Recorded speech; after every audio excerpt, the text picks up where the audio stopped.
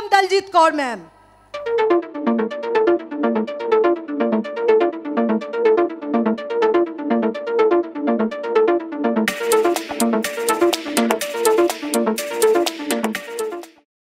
Very sweet Shomu a very hard working lady इन्हें मैं पिछले चार सालों से जानती हूँ और कोविड में हम ज़्यादा नज़दीक आए बिकॉज़ कोविड ने हमें सच में ज़िंदगी जीनी सिखाई। uh, कोई भी चीज़ की ज़रूरत पड़ती थी हम सब एक दूसरे तक पहुँचते थे और हम मिलते भी थे कि लोगों की आगे हेल्प करें।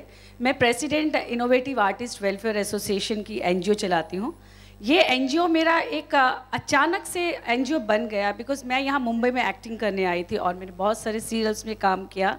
उन दौरान मैंने देखा कि जो सीनियर आर्टिस्ट हैं, जिनकी जो रिटायर हो जाते हैं, उनके लिए बहुत कंडीशन ख़राब होती है, उनकी मेडिसिन का प्रॉब्लम उनका इवन सब लोगों का खाने पीने का भी प्रॉब्लम होता था। तो मैंने ये एनजीओ स्टार्ट किया और सतीश कौल जी हमारे जो सीनियर एक्टर थे, उनका हमने देखभाल करनी शुरू की। अब वो इस दुनिया में नहीं रहे बट तब से वो मोटिवेशन मेरे अंदर आया और अब मैं वुमेन एम्पावरमेंट के लिए काम करती हूँ।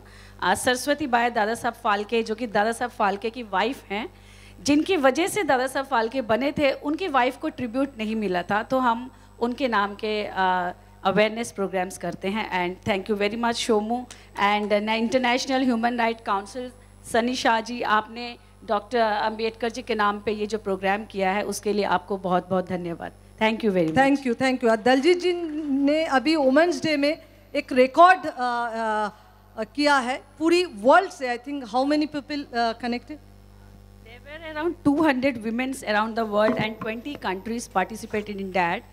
और उसमें हमने कैंसर अवेयरनेस के लिए प्रोग्राम किया था। बिकॉज़ uh, कैंसर बहुत तरह के कैंसर होते हैं। तो हमने पहले फीमेल रिलेटेड कैंसर के प्रोग्राम को किया था। अब मेल कैंसर रिलेटेड हम फादर्स डे के ऊपर एक और भी बड़ा रिकॉर्ड बनाने जा रहे हैं।